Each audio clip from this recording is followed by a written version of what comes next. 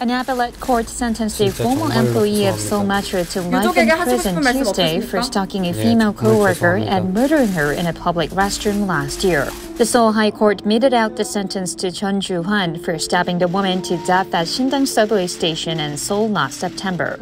The killing took place a day before Jeon was set to face a court ruling on separate charges of stalking her on a total of 351 occasions and illegally filming and blackmailing the victim in late 2021. A district court had sentenced Jeon to 40 years in prison in the murder case. He was separately given an additional nine year prison term for stalking the woman.